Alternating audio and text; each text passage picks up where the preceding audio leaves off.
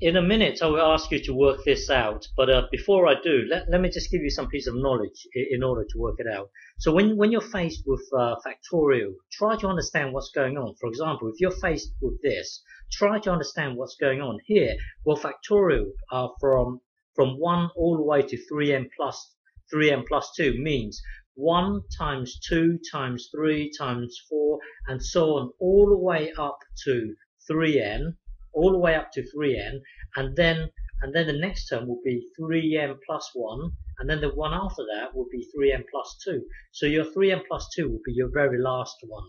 So so um, 3n plus 2 factorial actually means this. From 1 all the way to 3n and then the next term will be uh, 3n plus 1 and then the next one will be 3n plus 2 so this is your very last one.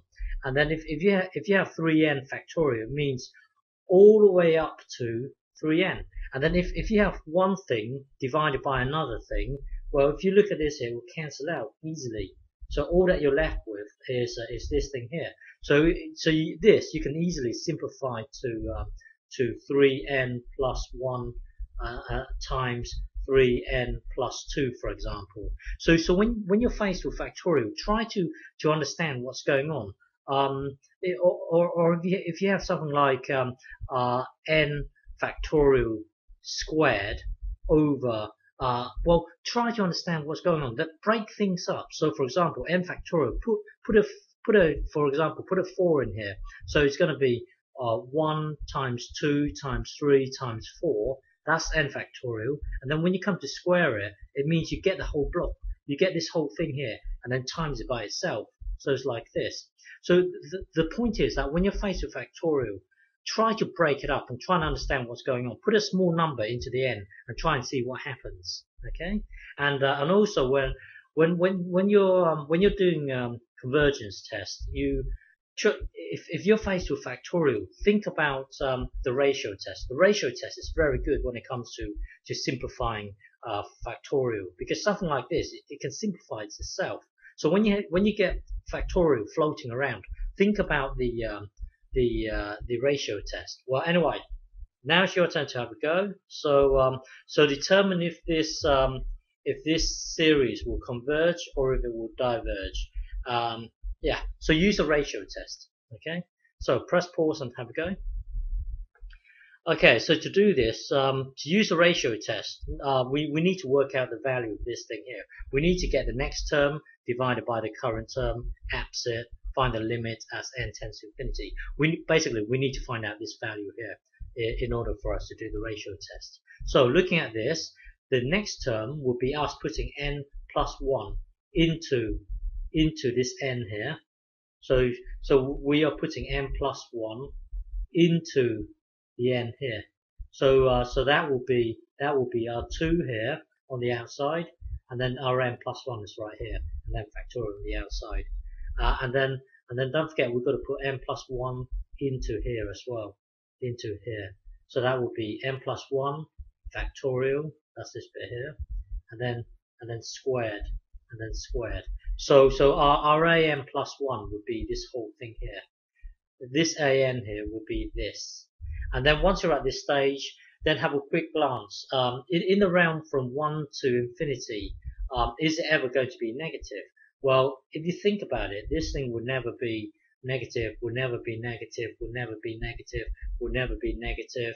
Uh, well, in the realm of 1 to, um, to infinity, it would never be negative.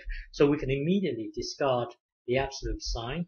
And then you've got one fraction divided by another fraction. That's the same as, that's the same as uh, one fraction multiplying the reciprocal. Okay, so, so hang on.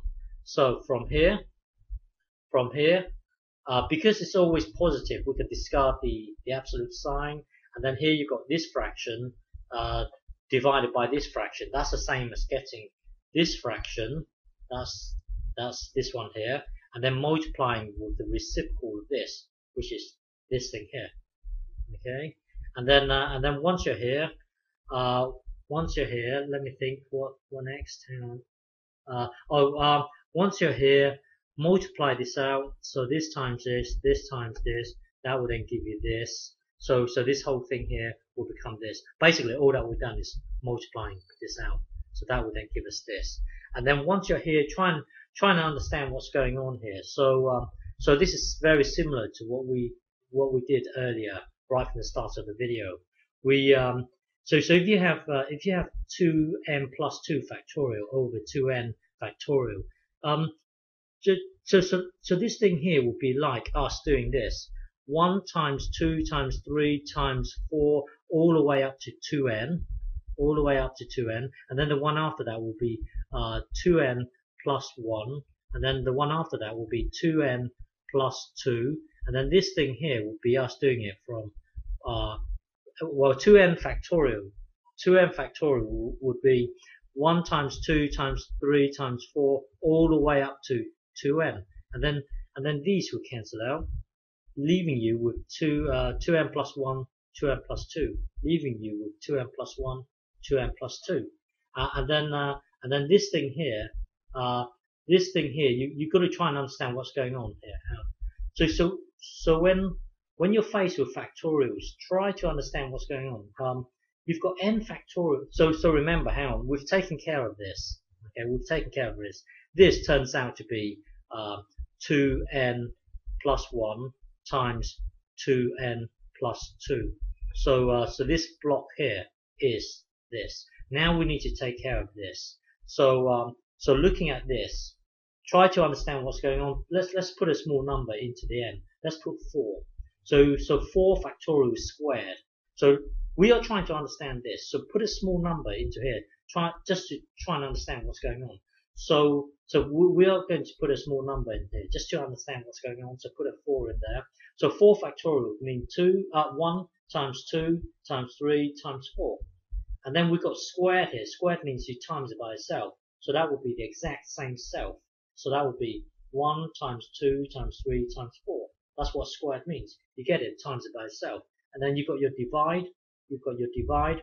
Well, n plus 1 would be 1, n plus 1 would be one notch higher than n. So that would be 1 times 2 times 3 times 4 times 5. You see, it's one notch higher than, than the 4 here. Uh, and then and then you've got your you've got your squared here. So squared means get the exact get multiplied by its exact self. So that would be 1 times 2 times 3 times 4 times 5.